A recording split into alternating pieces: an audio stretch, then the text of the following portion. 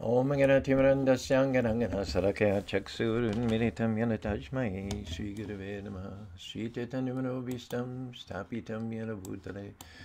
Swayam Rupakaramayam Darati Swaparantikam. Vandeham Sri Guru Siyata Parakamanam Sri Gurun Vaishnavamscha Sri Rupam Sagadatam Sahagana Raganatam Vitam Stam Sadevam. Sadvaitam Savadutam Parijana Saitam Krishna Chaitanya Devam.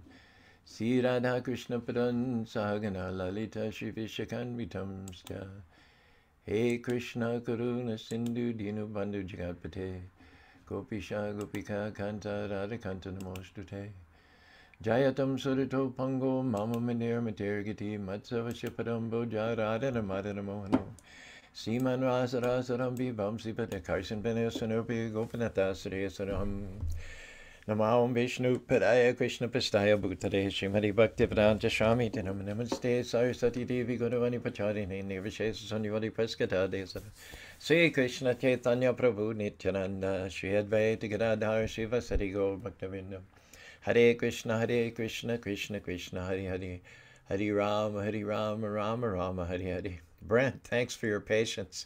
We're 14 minutes late getting on Facebook Live.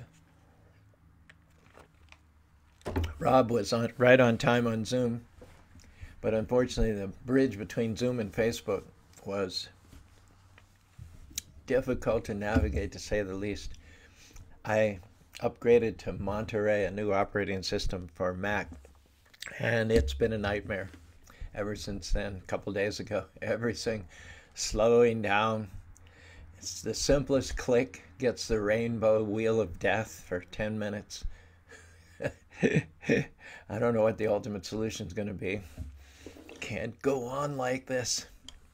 And uh, today's session will be a little abbreviated, not only because we're 15 minutes late, but also because I have an interview scheduled with Chaitanya Charan at 9 o'clock Utah time. He's going to be calling me on Zoom from um, Govardhan Eco Village in India, and we're going to talk about tips for giving relevant talks to Western audiences, particularly at the Sunday feast. So I'm looking forward to that, and I'll need to not go over time on this one in order to prepare my notes, interview notes for that one. Yesterday, you'll recall in this uh, discussion of the 19th verse in the 8th chapter of the Srimad Bhagavatam, the beautiful story of the Absolute Truth, how Maharaj Prithu, who was a completely straightforward, over and above board, Shaktavishtar, incarnation of Supreme Personality of Godhead, would not, not only would he not praise himself, do you know people who talk about their accomplishments, who sing their own glories, and some or other in doing so diminish their stature in your eyes?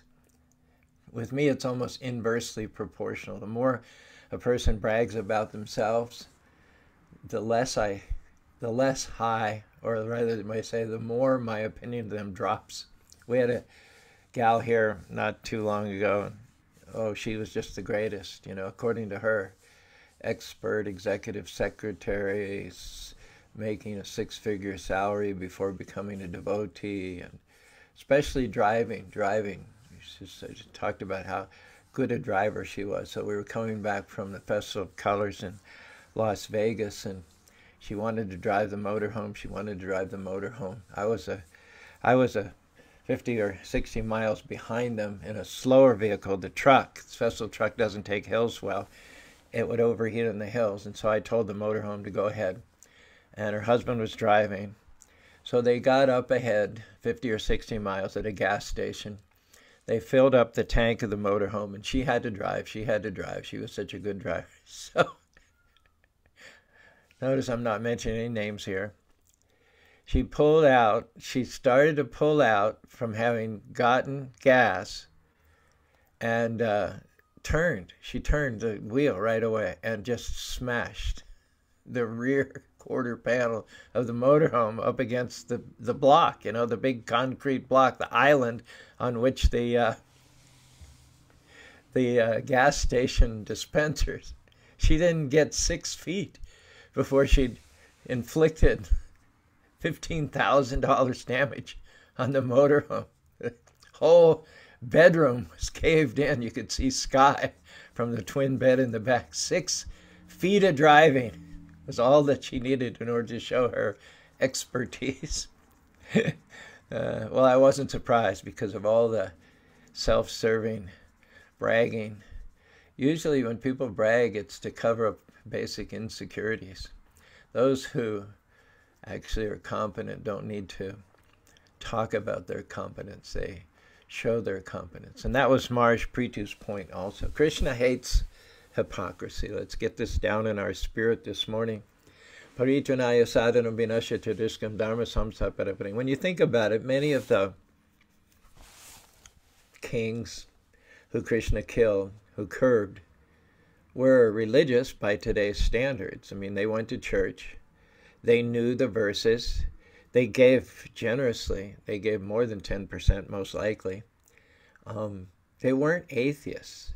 They may have been demigod worshippers, but they believed in higher powers. They had moral standards. And yet Krishna came to destroy them because of their motives. They were doing what they were doing for their own personal fame and name and personal aggrandizement. They weren't doing it out of a selfless sense of service to the Supreme Personality of Godhead. They weren't doing it because of a realization that I am constitutionally Nitya Siddha Krishna Prema. I'm eternally a servant of God, and this is who I am, and service is what I should be doing. No, they would they would go through the motions of giving in charity, donating, learning slokas, quoting slokas, telling stories, only in order to draw attention to themselves. In effect, that results in detracting attention away from God. Now, God doesn't need attention. He's not a grandstander. He doesn't particularly like to be in the limelight. In fact, just the opposite. He'd prefer to be in the background. But when we glorify him, Nevatmana Prabhor Ayamni Jabano Manam Janara Bidushokanam Yadyajjano Bhagavate Dachatmane Prati Mukashi Mukasri. Mukha means face. When you decorate the mukha, the reflection of that decorated face in the mirror is also beautiful. As, as much as you beautify the face itself with cosmetics and makeup and eyeliner and uh, earrings and nose ring, the more you beautify the face, the more the reflection of the face becomes beautified. So God makes himself available. He's always full of joy. He's always self satisfied. He's self sufficient. He needs nothing. He's not added to when we glorify Him, nor is He detracted when we fail to do so. He's not pumped up when He hears His name being sung. He's not depressed in arenas where His name is absent. He's completely on the transcendental platform. He's not at any time or in any way affected by the circumstances and the choices that we make here in this material world.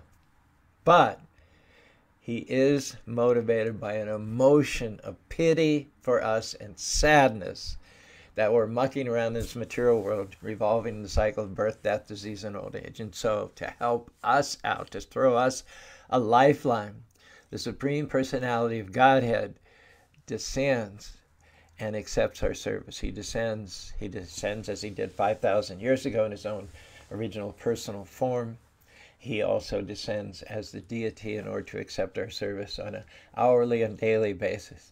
The reason that he descends is he wants to sort out the hypocrites from the simple, straightforward devotees. When he says, Paritranaya sadam I destroy the miscreants. The miscreants are defined as those who pretend that they're one thing when they're actually another thing. Maharaj Prithu was an incarnation of the Lord. He had all good qualities, intelligence, good looks. Visporja jagavum darum yadacharat samam tadadne lila disisya shalangale narnyam Later on, during his reign, the thieves and rogues were curbed, curtailed so thoroughly that he didn't actually have to arrest or apprehend or kill any of them. All he had to do was just travel throughout his kingdom on his chariot, twanging his bowstring. Twanging, he would just stretch the bow even without an arrow and release it, and the thunderous, ominous sound of the bowstring of Maharaj Prithu twanging was enough to cause the thieves and rogues and criminals to run, to fly here and there in terror, and for their wives to have miscarriages. That's how powerful he was, how many good qualities he was endowed with. In his kingdom, no one even thought of cheating, lying, or stealing, what to speak of translate into action. And yet, on his coronation, before he'd accomplished any of these amazing feats, the bards and sages were praising him, singing his glories, and honoring him. He didn't like that. He told them, tone it down, guys. This is not appropriate. Um, uh, what to speak of those people who allow their followers to glorify them for qualities they don't have? Have we seen any of that recently in American politics? Someone being glorified for qualities that they don't actually have? What to speak of cheaters who allow their followers to praise them for qualities they do not actually have? Maharaj Prithu said in his humility, If even for argument's sake I do have the qualities of which you're singing, I have not shown them yet. Until I show them, you should not praise me. In other words, praise is good. We want to encourage. We want to give other people the bon mot, the good word, the encouragement, the inspiration. We always need to be on the lookout for people that need a little bit of a jump start, a little bit of a, um, a little bit of a lift of encouragement in the form of a good word. But at the same time, you can't flatter people. You can't falsely glorify them. That's not doing anybody any good at all. You have to be t- truthful, tactful, and you have to be truthful. You cannot call a blind boy, for instance, Padma Chakshu, lotus eyed. That's just bald, brazen, inaccurate flattery. So you have to be considerate and be observant enough to note someone's good qualities Wait until they're manifested. You can't say, well, if you'd been educated, you would have been a good scholar. That's not truthful praise. You have to note their qualities, wait until they exhibit them, and then comment on them. Wow, that was a great PowerPoint. That was a great, you did a fantastic job on that project I gave you. You not only did what I asked you to, but you did more over and above and beyond. So, Prithu Maharaj was not against praise. In fact, uh, think of all the compliments that Krishna gave Arjuna while bucking him up during uh, Arjuna's crisis before the Kurukshetra war. In the 700 verses of the Bhagavad Gita, there are quite a few times where Krishna called Arjuna the scion of a great dynasty, called him the great bowman Savyasachi called him the winner of the wealth, winner of wealth, the conqueror champions. All that was accurate. Arjuna had done all that. He'd done tremendous deeds on behalf of the Supreme Personality Godhead on the part of righteousness against wrongdoers. So praising a man factually based on his accomplishments is something we should always look out for and be eager to do but uh, we shouldn't flatter people in order to get some advantage for our own selves. We shouldn't mislead people for our own advantage. That is manipulative, that is hypocritical. Prabhupada mentions that although Maharaj Prithu had every right to be glorified and he was endowed with all good qualities, he rejected those praises because they were premature. They were not yet manifest in him. He wanted to stress that one who does not actually possess good qualities should not allow their followers to praise them for qualities they do not have, or should not allow their followers to praise them for qualities which just might be manifest in the future. Okay. So this brings us again to the tendency to cheat, one of the four principal defects by which people miss worship of the Supreme Personality. First is imperfect senses, make mistakes, and tendency to be illusion. And the fourth one, which everybody suffers from, unless you're an incarnation of Godhead or a pure devotee, everybody suffers from the tendency to cheat. In the fourth canto, which is basically the story of King Prithu, we find Indra, the king of the heavenly planets. Now remember, the heavenly planets are not the spiritual world. When Christians talk about heaven and we talk about heaven, we're not talking about the same place. Our heaven is a better place. In this material world, is populated by demigods who were very pious and righteous in their previous lives as human beings, and then they were elevated to exalted positions of universal management. And uh, those managers live on higher planets, heavenly planets. They have a longer span of life, extending into the hundreds of thousands of years, a much higher standard of living, but they also have more responsibilities to discharge. Now, the king of heaven is called Indra, and we find this verse Tam Atrir Bhagavan Aikshat Tramanamam Mihasya Amukam Iva Pakandam Yo Dharma Dharma Vibhramaha. So Indra became envious of Maharaj Prithu. Maharaj Prithu was about to finish his 100th horse sacrifice. And Indra had become Indra, the king of the heavenly planets, in his previous life because of having completed that same number of horse sacrifices.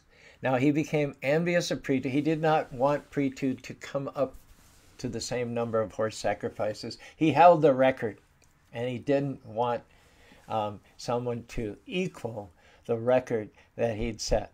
And on some level, he was afraid that Prithu's motives were to take over, usurp his heavenly um, planet, having having accumulated the same quantity of pious activities. Of course, nothing was further from Prithu Maharaj's mind, but those who are envious often paint others with their brush because Indra was envious and Indra was competitive, and Indra saw others as friends, enemies, and neutral parties. He concluded, he imposed that demented mentality on Prithu. He assumed that because he thought that way, everybody it that way. But of course, and that's mostly true, but the exceptions are devotees of the Lord. So Indra went to great lengths to cheat Maharaj Prithu the results of his hundredth horse sacrifice. He did something which uh, nowadays is not that uncommon, unfortunately, but in those days it was unprecedented. Indra was the first person, as far as we know in history, that in order to take away the horse, now the horse sacrifice comes about in the following way the, the king who resi- resides at, at the seat of power sends out a horse, and the horse is free to travel anywhere without, within the king's kingdom. And whenever the horse goes through a territory owned by a, a ruler, a feudal, feudal chief, or a tribal lord, then the entrance of the horse into their territory is indication that they need to send some tribute to the king. Generally, the king was in Delhi, in those days known as Hastinapur. So wherever the horse went, people paid tribute to the king. Now, if the horse was apprehended, if the horse was restrained and caught and prevented from traveling here and there, that was considered a personal affront. That was a challenge to fight for the king. So Indra wanted to have his cake and eat it too. He wanted to capture the horse, which would interrupt the horse sacrifice. The, the horse sacrifice could only be performed after the horse had gone through all lands, and all lands had demonstrated they weren't going to contest the reign of the king by sending tribute. But if someone grabbed the horse, it meant that there had to be a fight. But Indra wanted his cake and eat it too. He grabbed the horse, trying to cheat Maharaj Prithu of, of his ability to do one, a 100th horse sacrifice. But when Prithu started to wade into the fight, because that was that was that was a fight. When you took the horse, you were you would fight. So Prithu came to fight, but Indra was too cowardly to fight with Prithu Maharaj. As I mentioned before, all he had to do was twang his bow, and it would strike people with terror. That's how powerful he was. So Indra changed into the dress of a Swami. he took on the saffron ochre colored robes of someone in the renounced order of life, a celibate single Brahmin or a Swami.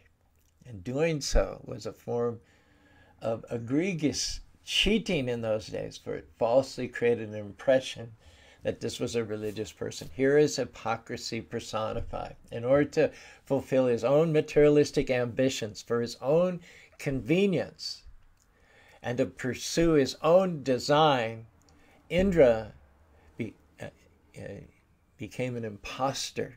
The king of Indra rides on an elephant, lives in a palace, who has the Nanda Nanda gardens and Apsaras at his disposal, goes to the point of hypocrisy by presenting himself as a saffron robed renunciate.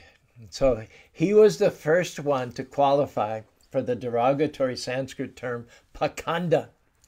Pakanda, sometimes pronounced pasanda. Pasanda. Yashtu Narayanam Devam Brahmarudire Samadmena Viksha Pasandi Bavedriva. Says one who ignores the worship of Narayan one may go to church, one may be a renunciate, one may be knowledgeable in the scriptures, one may wear the saffron robes, but Yashtu Narayanam Devam, one who worships other gods other than Narayan, the Supreme Personality of Godhead, is really no better than a Pashanda. That means a hypocritical person who poses themselves as someone religious in order to cheat others. And uh, although Indra was the first one to do it thousands and thousands of years ago, he wasn't the last one to do it. Many, many impostors have adopted the saffron dress and presented themselves as liberated persons or even as incarnations of God in order to cheat people. This was predicted again in the fourth canto where the sacrifice of Daksha is described. It says, Sarvabhaksha Dvijavara Vita Dehandriyana Yachaka Vikarantiraham. The followers of Lord Shiva cursed the Brahmin followers of Daksha that in the future those Brahmins would take to education, austerity, and vows only. Vita prana. Prana means just to maintain uh, Vita dehendriya. Deha means body, and vita means maintenance. Only for the maintenance of the body, not for honoring God, taking up the process of devotional service, setting an example of renounced, renounced devotional behavior for the well being of people in general. No, they will hypocritically adopt the Brahminical uh, title, the Brahminical dress, only in order to fill their bellies. They will learn scriptures in order to fill their bellies. They will do pujas in order to fill their bellies. They will go about begging from door to door simply for the satisfaction of the body. My Bobby and I were in Kerala. One time we're taking an early morning japa walk on the beach and I saw in one corner of the beach there, on, uh, we were in uh, Varkala, there were five or six Brahmins doing uh, a havan, doing a fire sacrifice. They had some bricks.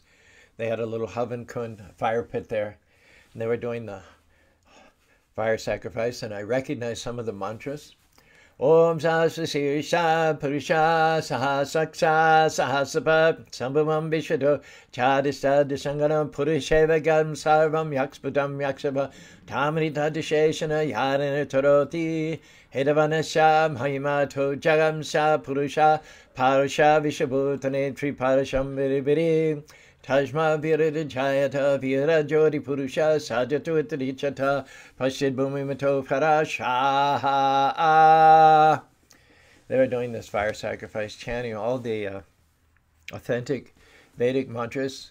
I was so excited. I went over and I sat down and bathed myself in the sound vibrations. There were some tourists there, businessmen and their family who had paid the Brahmin some money in order to do the fire sacrifice, presumably for some material blessing, which is also a form of hypocrisy, to try to make the Lord your servant. We are constitutionally servants of God. We should ask not what God can do for me, but what I can do for him.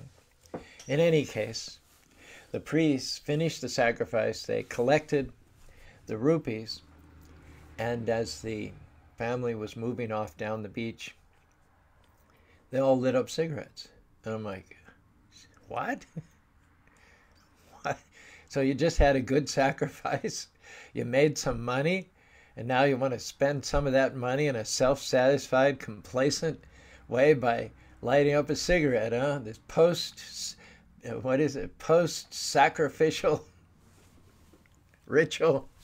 Do the sacrifice, pray to God, use God as a your servant, inflate your position, deflate God's position, and then stimulate your senses at the end by having a cigarette. And so these personalities would like us to believe they were liberated by their dress, by their titles. They would like us to believe they are liberated, but in fact they're addicted to nicotine. They would like us to believe that they are renounced from all worldly affairs, but they're prostitutes for the almighty rupee. They would like us to believe that they're engaged in the service of the Supreme Personality of Godhead, but in fact their service is only for their tongue, their belly, and their genitals. Krishna warns in the sixth chapter of the Bhagavad Gita, Nasita karma phalam kayam karma karotya cha sannyasi chajo na niragdhira chakram.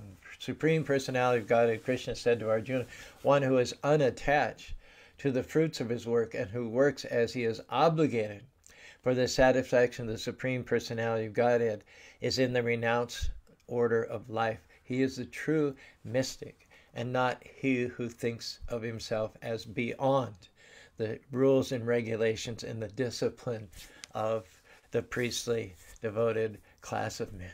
Prabhupada explains that the sannyasis and the swamis sometimes especially those of the Mayavadi persuasion, those who talk about oneness all the time, becoming one, merging into the Supreme Personality of Godhead. They often think that they have become liberated from all material duties, that they are situated in transcendence just by virtue of having adopted the saffron dress and uh, and uh, and they're on the path towards non-discriminate um, non-discriminate merging into the effulgence of the supreme. And for those who want to dis- distance themselves from material desires profit and gain adulation that's that's a that's a worthy ambition you know. One who finds the the the business of the ordinary person distasteful and wants to rise above that, get to some sort of a higher spiritual level. That's a very worthy ambition. Certainly, such a person is better than the common mass of people. But the pitfall of wanting to transcend matter is that one can be mistakenly guided towards wanting to become one with God. Um, and that and in, in that monistic pursuit in that monistic school of thought one misses the fact that although god is one he also is variegated. He is both one individual living being but his creative nature is such that he creates in millions and millions and millions of variety million millions and millions of diversity. And so one can use the things of this world whereas the monist rejects the variety of this material world. He doesn't acknowledge any reality to the material phenomena. He says, Brahma Satya Jagat Mitya. Only spirit is truth, and this material world is false. So, whereas the monist rejects out of hand everything material and puts on a big show of being detached from it, and then when no one's looking, lights up a cigarette, which is the which is the definition of hypocrisy a devotee recognizes that while these material phenomena are temporary, material, created of an inferior energy to the spiritual energy, they are nevertheless put here for the purpose of serving the Lord. And so a Krishna conscious person uses everything, works in any way which will bring about the satisfaction of the Lord without any personal self interest. A Krishna conscious person has no desire for so called self satisfaction, separate or independent from Krishna. We all desire self satisfaction, but the difference between devotional service and service outside of devotional service is that devotee wants his self satisfaction through Krishna. That makes all the difference in the world. Non devotee and devotee may be acting in artificially or superficially similar ways. But the devotee is not a hypocrite. The devotee is not dual minded. I'll do this in order to get this. The devotee serves the Lord in order to get more service to the Lord, thinking of oneself as an eternal servitor of the Lord. Kama, prema, donakara vibhanaloa admihema, yaiche surupa vilakshana. Devotional service and material service, self service, may both be similar in some ways just as gold and iron are both metals. However, there's a difference in value between gold and iron. The iron is basically valueless, whereas the gold is of practically incalculable value. So a person acting in Krishna conscious works for the satisfaction of the whole. Say the finger. The finger can either try to directly enjoy itself or it can enjoy through the stomach. When the finger tries to enjoy directly, it fails miserably. Finger has no capacity. If there's a cup of sweet rice, the finger can plunge itself into that sweet rice. But not only will the finger not be satisfied, but the sweet rice will be spoiled. So the finger wants to enjoy. We are like the finger in as much as we want to enjoy. But the key is to enjoy through Krishna, not to enjoy part apart from Krishna. So, in that sense, a Krishna conscious person has no desire for direct, independent self satisfaction, but gets self satisfaction through watering the root of the tree, through putting food into the stomach. This is the criterion of success. Is Krishna pleased by the food that I eat? Is Krishna pleased by the movies that I watch? Is Krishna pleased and honored by the books that I read? Is Krishna pleased by the people with whom I surround myself, the people in whose association I spend the most time? Is Krishna pleased? Krishna, Krishna, Krishna. Savai pum sam paro dharmo yato bhakti ahaitukiya patiyata yatma suprashiti. Without any desire for personal satisfaction, without any ulterior motive, nor without any interruption, the highest perfectional occupation of the living being is to engage in devotional service of the Lord. That and that only will completely satisfy the soul. Krishna loves us too much to leave us on any other level than that ultimate level of devotional service. And he has no tolerance for leaders, unlike Maharaj Prithu, like King Indra, who allow their followers to praise him for qualities they don't have, or to praise him for qualities they may have, but they have not yet manifested. The Lord wants forthrightness, He wants straightforwardness, He wants transparency, He wants honesty. He does not need perfection, but He needs he needs transparency. What you see is what you get. And so you find, without any exception, devotees of the Lord are very, very simple, honest, forthright people. Uh, certainly like an oasis in a desert, certainly refreshing considering the jadedness and the uh, ubiquitous hypocrisy, which is the very characteristic of this age. So all glories to the devotees of the Lord. Hare Krishna, Hare Krishna, Krishna Krishna, Hare Hare, Hare Ram, Hare Ram, Ram Ram, Hare Hare. Well, it's amazing that we had uh, so many of you are patient.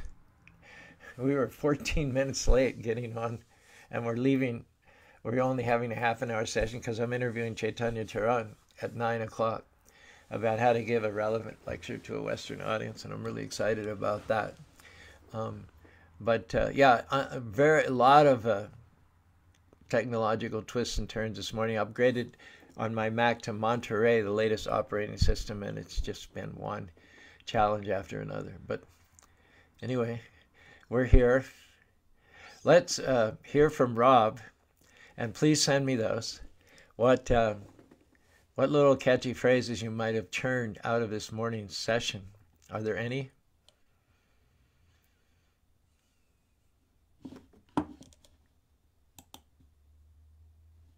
Okay, he might have just nipped out for a glass of water or something.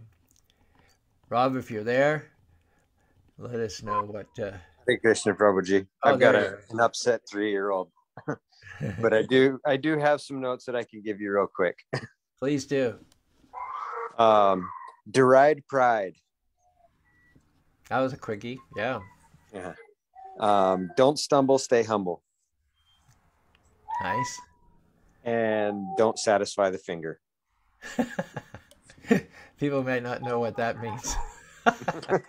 I guess that's true. I didn't think about how that might come out.